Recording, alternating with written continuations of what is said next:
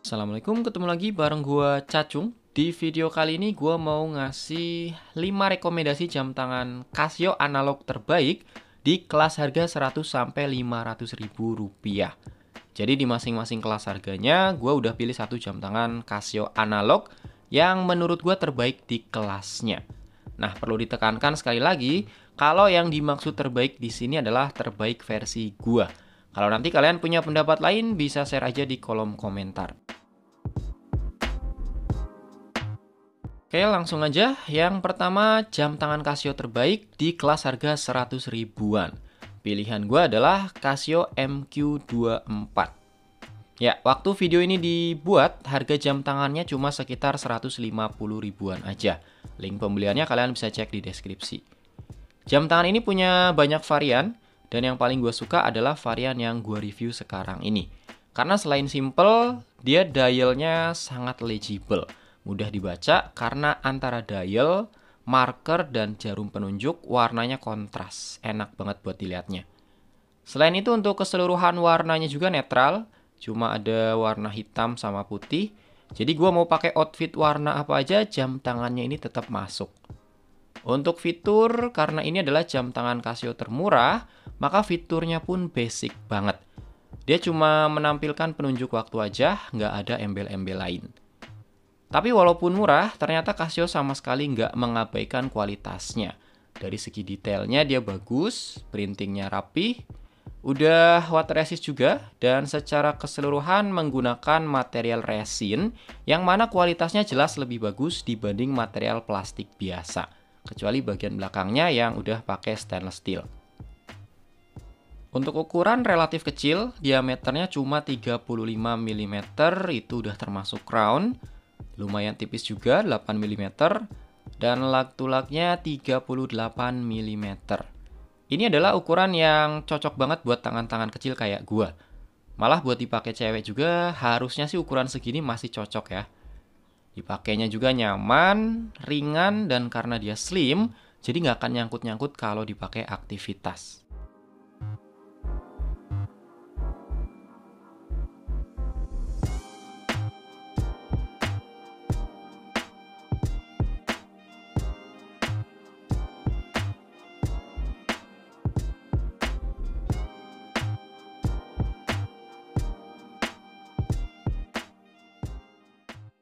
Yang kedua untuk kelas harga 200 ribuan, gua pilih Casio MRW 200H. Walaupun ada beberapa toko yang jual di atas harga 300 ribu sih. Tapi ini gue masih dapat harga yang di bawah 300 ribu. Untuk link tokonya kalian bisa cek di deskripsi. Nah, kalau dibandingin sama MQ24 tadi, MRW 200H ini bisa dibilang kakaknya lah ya. Karena secara build quality masih sama Materialnya full resin, mulai dari case, strap, buckle, sampai dial window-nya pun ini bahannya resin glass. Paling cuma case back-nya aja yang udah pakai stainless steel. Tapi kalau soal fitur, MRW 200H ini udah jauh lebih komplit guys. Di sini udah ada fitur day date, bahkan untuk harinya tersedia dua pilihan bahasa, yaitu Inggris dan Spanyol. Water resistnya juga lebih tinggi ya, 100 meter, jadi kalau mau dibawa berenang ini masih relatif aman. Terus jam tangan ini juga udah dilengkapi dengan luminous di semua marker dan hands atau jarum penunjuknya. Nah uniknya ternyata bezelnya ini bisa diputar dua arah guys. Walaupun nggak ada kliknya sih, tapi untuk putarannya ini kerasa berat dan presisi. Nggak kocak sama sekali. Lumayan ya, bisa buat dijadiin timer.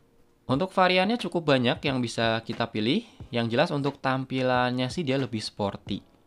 Ukurannya lumayan gede ya, 42 mm, tebelnya 11 mm, dan lak-tulaknya 47 mm. Kalau dipakai di tangan gua yang lingkarnya kurang dari 16 cm, ini udah nggak ideal. Tapi sebenarnya sih masih pas-pasan banget. Lubang strapnya juga masih pas banget. Gue pakai lubang yang nomor satu nih.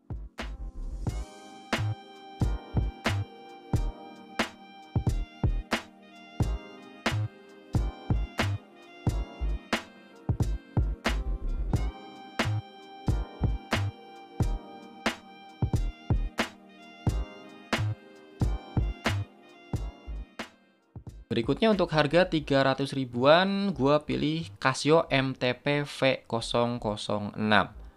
Menurut gue jam tangan ini tuh ganteng banget guys. Terutama yang markernya angka Romawi. Mau yang dial putih atau dial hitam, keduanya sama-sama bagus. Kalau pengen yang dialnya mudah dibaca, kalian bisa pilih yang dial putih. Kalau mau kelihatan lebih kalem, lebih elegan, gue saranin beli yang hitam ini. Untuk desain dia simple, tapi simpelnya tuh pas. Simple banget enggak, rame juga enggak. Di sini yang jadi pembeda tuh angka Romawinya sih. Karena kalau marker angka biasa ataupun marker pointer itu udah banyak dipakai di Casio tipe lain. Nah, kalau Casio yang pakai marker full angka Romawi itu masih jarang, guys. Malah sejauh yang gue tahu sih nggak ada lagi selain ini. Jadi udah kayak ikonik gitu ya. Untuk fitur sebagai alat penunjuk waktu, MTP V006 ini udah sempurna. Karena udah ada timekeeping dan juga kalender yang lengkap, ada hari dan tanggal. Ukuran jam tangan ini pun cukup bersahabat buat tangan-tangan kecil. Diameternya 37 mm, tebelnya hampir 10 mm, dan lak-tulaknya 45 mm. Kalau dipakai di tangan gua yang lingkarnya nggak lebih dari 16 cm, Jam tangannya sih masih pas. Cuma untuk strapnya kayaknya ini harus ditambah lubang lagi sih.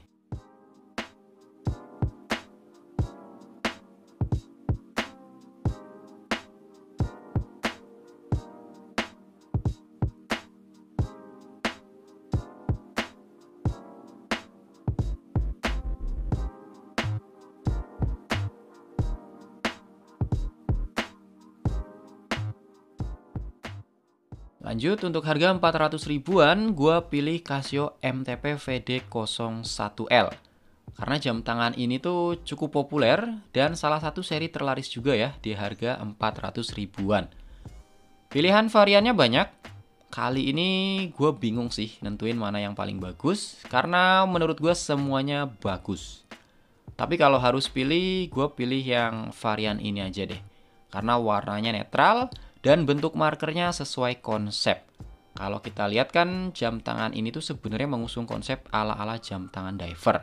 Kelihatan dari ukurannya yang lumayan gede dan desain bezel yang ada skala menitnya, walaupun nggak bisa diputer. Nah, kalau jam tangan diver look kayak gini, emang pasnya tuh pakai marker pointer yang bulat-bulat ataupun bentuk balok yang tegas. Kurang cocok kalau pakai marker angka, makanya gue pilih yang varian ini. Dan sebenarnya juga akan lebih cocok kalau strapnya rantai atau rubber. Overall, secara tampilan emang gagah banget sih jam tangan ini. Jadi nggak heran ya kalau banyak peminatnya.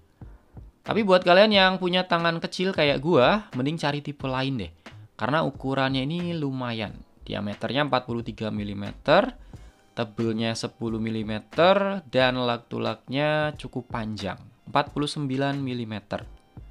Kalau dipakai di tangan gua yang lingkarnya kurang dari 16 cm, ini udah nggak ideal.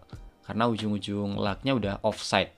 Tapi buat kalian yang punya lingkar tangan minimal 17 cm atau lebih, kalau emang suka sama jam tangan ini, gak usah pikir panjang lagi deh. Mending langsung sikat aja.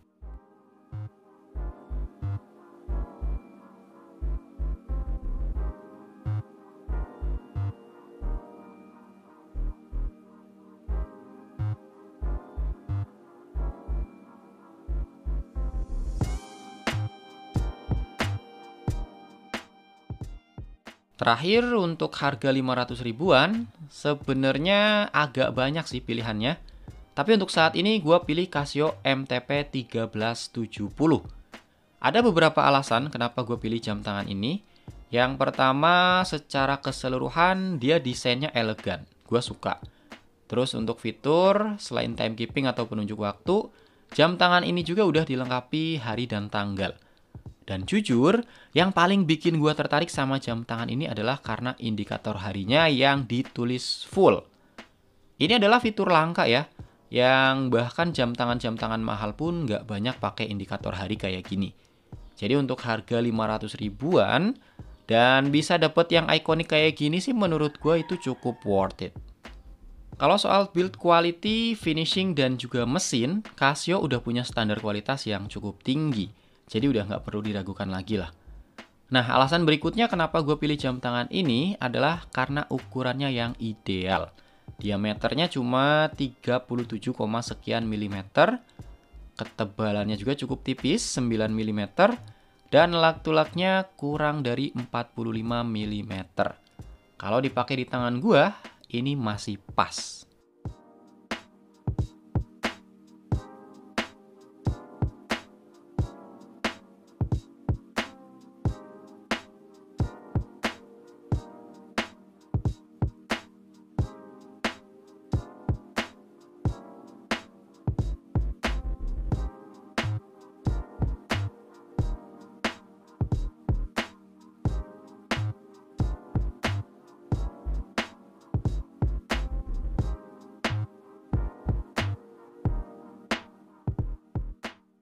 Oke guys, itu tadi 5 rekomendasi jam tangan Casio terbaik di harga 100 sampai 500 ribuan versi gua. Kalau kalian punya pendapat lain bisa sharing di kolom komentar. Dan buat yang pengen review lebih detail dari 5 jam tangan yang udah gua sebutkan tadi, kalian bisa cek link videonya di deskripsi karena semuanya udah pernah gua review secara lengkap di channel ini. Oke, itu aja. Makasih banget buat kalian yang masih nonton sampai menit ini. Silahkan like kalau suka dan dislike aja kalau nggak suka. Sampai ketemu di video berikutnya. Assalamualaikum.